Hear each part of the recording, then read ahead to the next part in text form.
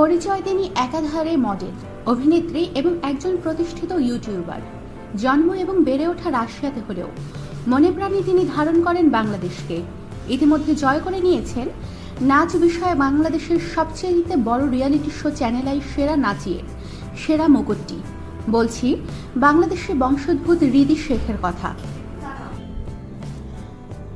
এবার দেশের গণ্ডি পেরিয়ে রিদি নাচ নিয়ে যাচ্ছেন ভারতে।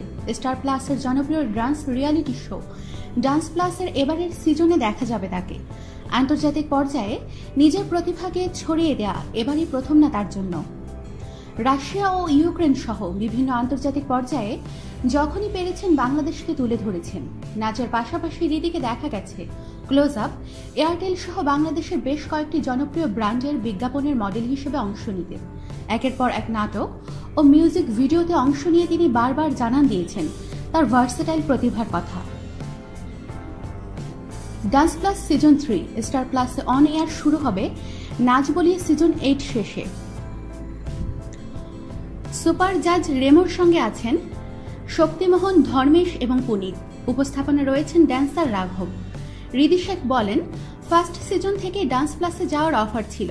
যেহেতু ডান্স প্লাসে পৃথিবীর সেরা সেরা নৃত্যশিল্পীরা অংশগ্রহণ করে, তাই নিজের কনফিডেন্স বাড়িয়ে সেখানে যাব সেটাই চিন্তাতে ছিল। ডান্স প্লাসের এবারের আয়োজনে রিদি শেখের গ্রুপের নাম হাউস অফ সুরাজ আর গ্রুপের হেড কুমারী। তার সঙ্গে বিভিন্ন দেশের আরও ছয় প্রতিযোগী আছে। সবাই এখন প্রতিদিন রিহার্সেল করছে।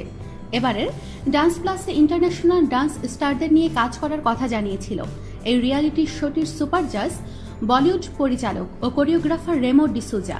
সে কারণেই হৃদের মতো ভালো নৃত্যশিল্পীদের বিভিন্ন দেশ থেকে অডিশনের জন্য নেওয়া হচ্ছে। নিশ্চিতভাবেই তাদের প্রায় অনেককেই এই শোতে চমক দেখাবেন। খুব শীঘ্রই এই মহা আয়োজন দর্শক দেখতে পাবে স্টার প্লাসের পর্দায়। আমাদের সাথেই থাকুন আর সাবস্ক্রাইব করুন।